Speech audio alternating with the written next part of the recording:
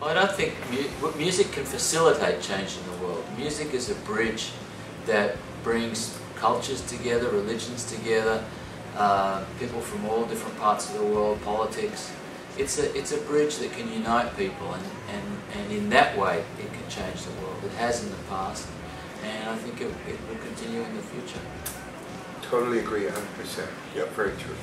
I, I uh, actually kind of, we, when we do you and I, I mentioned the fact that, um, you know, for a couple of hours, um, I'm sure uh, there's people with very different political viewpoints and maybe religious beliefs, but for that two hours that we play, um, you know, it's just everybody's just there having fun together and enjoying the music. So uh, I totally agree as well.